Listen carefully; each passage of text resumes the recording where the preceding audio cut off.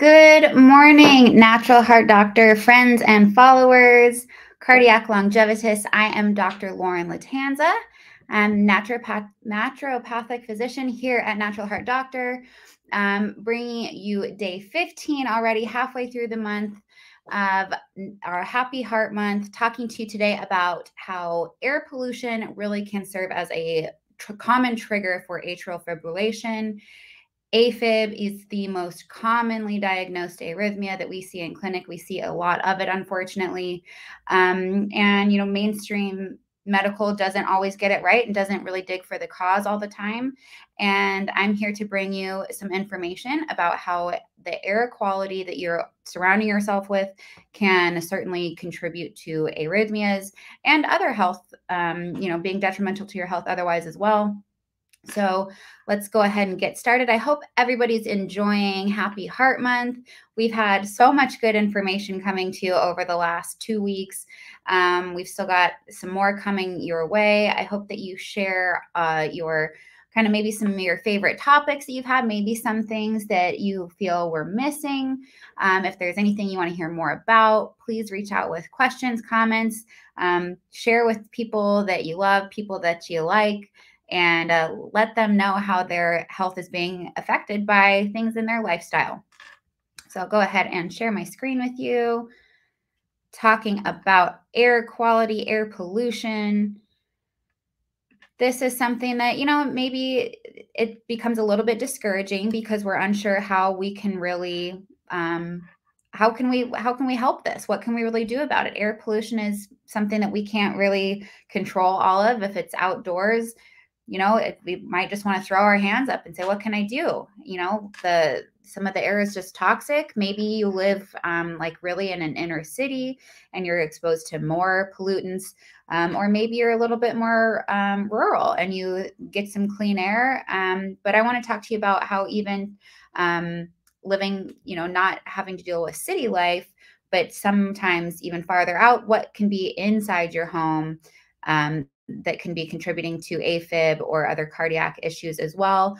I know that Dr. Wolfson talked a lot about mold yesterday, huge, huge um, source of indoor air um, contaminants. So if you missed that, I would highly suggest going back and rewatching yesterday's video um, as another source. So here is some just kind of some sources of pollution, right? So we when we think of poor air quality, we think of pollution, we think mostly, okay, we live in the cities, we've got exhaust fumes, we've got um, all of these different things that uh, are coming just from industrialized areas.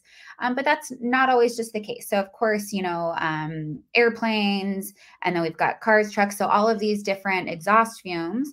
Um, and then we've got factories. So, any sort of power plant or treatments, um, anything that's going to end up aerosolized into the air um, it just goes up and then it comes right back down. So you don't even have to live right next to these stations, um, but they can certainly impact you no matter where you are. Um, then again, out you know in more rural areas, we've got oil, gas, fertilizer, livestock.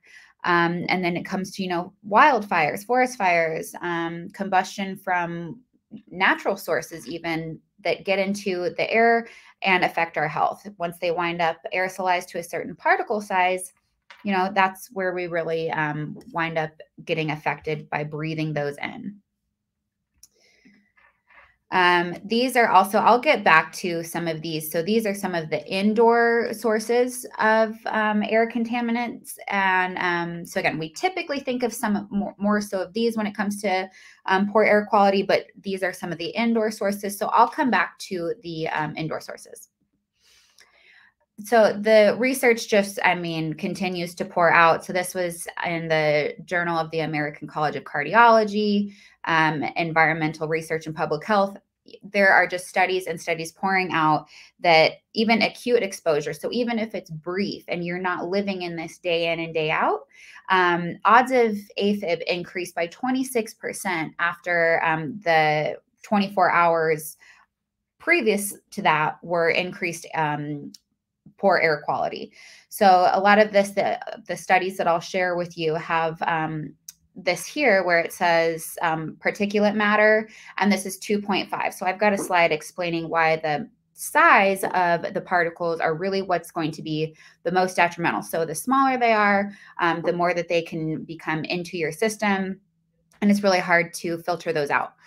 Um, and then so this was another study that was talking about the poor air quality and emergency room visits being increased within 24 hours again. So acute exposure it just triggers that. I mean if we think about something like asthma we know that if we're around something that's going to be inhaled it's going to trigger um, an onslaught of symptoms. So if you're asthmatic you know this well if you um, have an arrhythmia like AFib, maybe it's really a little bit harder for you to identify where these things are coming from because you're recognizing it in your heart and your, um, you know, maybe it's not right away, but within 24 hours, you end up with an arrhythmia. I would really encourage you to think back on, you know, was I exposed to something? Was I, you know, downtown? Was I at an airport? So all of these things that kind of should start running through your mind. Um, again, just more studies. So this was published in Heart and Lung. Um, this was a meta analysis, and their conclusions just say that um, gaseous or particulate pollutants are associated with the increased risk of atrial fibrillation. Um, these are some of these 2.5 micron uh, particulate matters. So, some of these um, gases, ozone, nitric oxide, carbon dioxide. So, really, what it's doing is displacing oxygen in your body um, so you're not breathing properly, your, your body's not getting oxygenated enough. Um, and so all of these things are, of course, not good down down the line. So this was what I was alluding to when it says in these studies that particulate matter, um, particularly this 2.5 microns and smaller. So this is a good depiction of some of these images. So this is the cross section of a human hair. So one strand of hair uh, we know is a very narrow, um, very narrow. So then there's a you know fine piece of beach sand, which we don't think of as all that large either. But comparing that to what we're what we're looking into as in studying that's being inhaled. So the particulate matter of 10 microns and smaller. So this would be dust, pollen, some of these mold spores, like Dr. Wolfson was talking about yesterday, that get inhaled. So get into um, our lung cavity and then can wind up into our bloodstream and of course affect our heart our brain um, you name it downstream. Um, and then we talk about these uh, 2.5 microns and smaller. So it shows if this is uh, 10 microns it's going to be even that much smaller. So you can imagine how hard it is to um, filter these out of air right um, so combustion particles, organic compounds, metals. Um, people might be wondering how metals wind up in air. Um, there have been some heavy metals used in um, candle wicks historically. So be sure that you're not bringing things into your home that you should not be aerosolizing, that should not be breathed into your air. Um, and I would also encourage you to consider, you know, where you're living, of course. So this was a study done on uh, Dublin, Ireland. They had um, recently, well, I, I, think that it was maybe in the late 90s, had um, got rid of some specific kinds of coal burning um, and reductions in respiratory and cardiovascular cardiovascular death rates um, had substantially diminished and you know it's just goes into looking at again where you live, what's going on in your area, um, and so we bring up forest fires. So we're getting in eventually going to get into summer months, and we know that so just because the fires are over here, that wind is carried. So this is just the U.S. jet stream. Um, and that winds up going all across the Midwest. So it doesn't matter where you are, you can certainly be affected, even if it's not your state um, that is the concern. Um, all of these things really have downstream effects. So this was um, a, a, study done on some of the 2015 California wildfires, and um, smoke exposure was associated with cardiovascular and cerebrovascular um, emergency department visits. So being stroke, heart attack, um, arrhythmias, you name it, particularly for those over um, 20 or over 65 years old. So it just goes to show that this um, it doesn't have to be just because you're in a city but all of these naturally occurring um, exposures of air pollution as well this was um, I, this is the link here so um, if anybody's interested i can type this into the comment section but this was a map that came up that um, shows in real time. So it updated um, all of these locations every couple hours or so. And so this is a good way to say, okay, you know what? Maybe I know that this isn't the case, but maybe Phoenix has really clean air, but there was something that happened, you know, last week that's making it a poor air quality. Um, so this gives you the air quality index um, all around the globe. You can type in your city um, and it'll pull up what your current air quality is, and it'll give you, I think, the last like month worth of data on that specific location. Um, so I kind of was going through um, this map yesterday as I was pulling some of this information, and the highest um, numbers, the poorest air quality that I found was in India. So in Delhi was the highest number that I found. So you can see like 50, 25, 8, kind of all through here. Um, there was somewhere near Chicago that was around 313, but again, it fluctuates. So it's not always like that. Um, but India was persistently kind of the lowest air quality. And so I looked at to see what the um, AFib rates in India were. And of course, you know, it just goes hand in hand. The median age of onset, um, onset, onset of atrial fibrillation in India is nearly a decade earlier than um, us over here in the West. So it just really goes hand in hand. So I had mentioned lots of sources of outdoor air pollutants, and now um, wanted to bring that also to indoor because we, you know, live and sleep indoors, and it's not always just safer to be inside. That's certainly not the case. Um, the EPA has said that indoor air pollutants are often two to five times higher than outdoors because we have poor ventilation. So make sure you're changing your air vents, especially getting um, the HEPA filter um, in your inside air filters so um, that you can filter out some of the outdoor, of course, but then also some of these um, additional indoor air pollutants that we get. So off gassing from furniture, upholstery, um, VOCs from perfumes, hairsprays. I actually had uh, one of my best friends just sent me this morning that um, a large number of um, dry shampoos are being recalled and taken off of shelves because of the amounts of benzenes that are in those and they're carcinogenic. Um, they affect our lungs, they affect our heart, they affect our brain. So, better to just keep those out of your home. Um, again, if it's becoming aerosolized, if it's turning into a fine particle, then that's just becoming more and more risky and higher risk of becoming um, arrhythmatic. So, this was a good um, image that I pulled from this website here just showing some indoor sources. So molds, of course, like we talked about yesterday, um, anything that's going to be a spray. So the candles, the air fresheners, leave those out of your home. You're so much better without those. Um, but then, you know, even like cooking devices, so stoves, um, gas burning, uh, fire burning fireplaces. So there's, you know, there's something that you just have to kind of look into with everything and make sure that you've got um, a good air filter. These are some other um, sources of VOCs, so volatile organic compounds.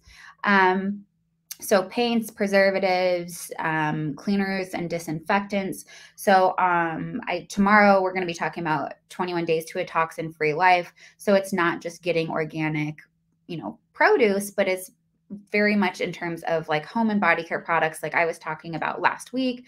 Um, we get exposed to all kinds of different things. So make sure that we're not bringing these things into our homes um, because as soon as you know it's becoming sprayed or anything that's we can inhale, it's going to have downstream effects.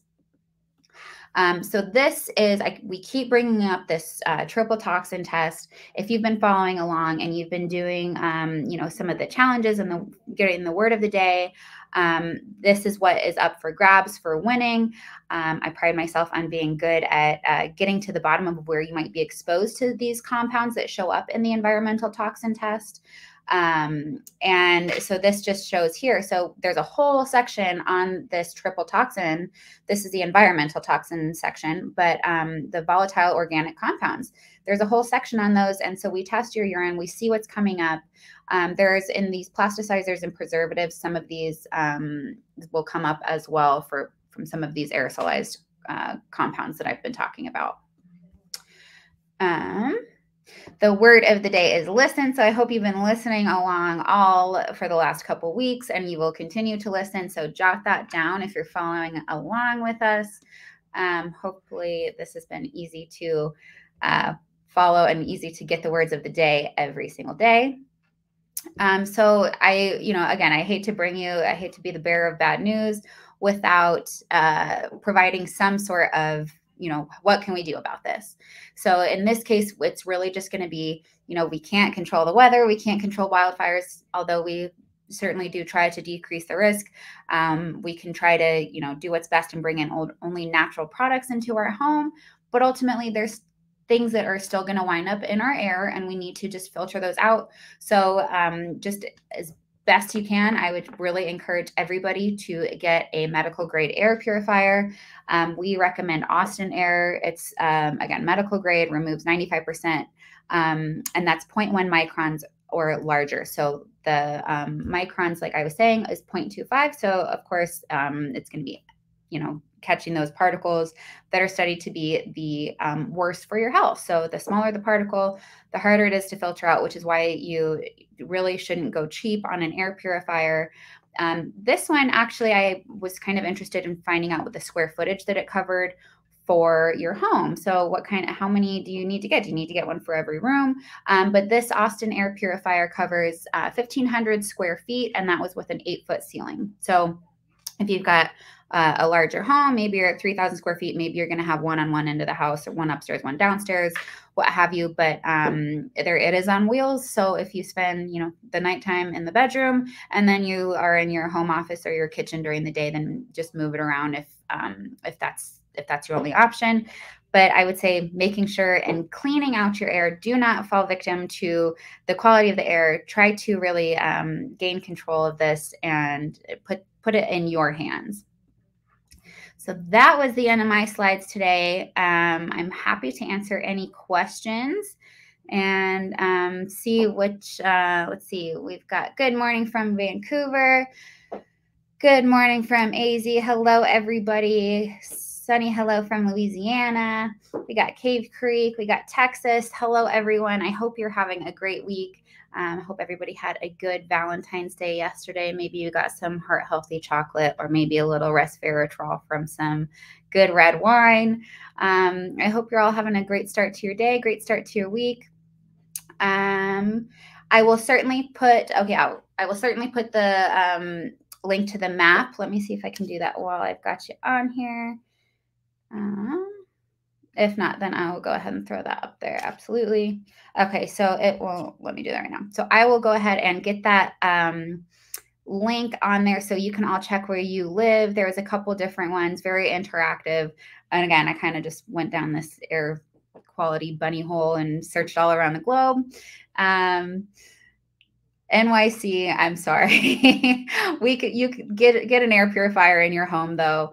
Um, all we can do is our best. So trying to regain some control. And um, I hope that this was informative and not just kind of a downer. Um, because there is some control that we can gain. And of course, it's, you know, what you're bringing into your home, making sure you don't have mold, um, searching for products that help um, alleviate some of these um, VOCs that can wind up in your house as well.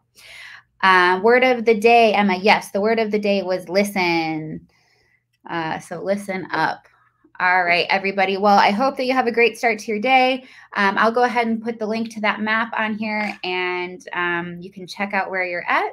Um, I know that we've got a lot of people on here that have the Austin air purifiers, and we've got one always running in our office. Uh, wouldn't have it any other way. So I would encourage you to all go to that link. There's um, uh, one just directly through our website. So have a great day, everyone, and we will see you tomorrow.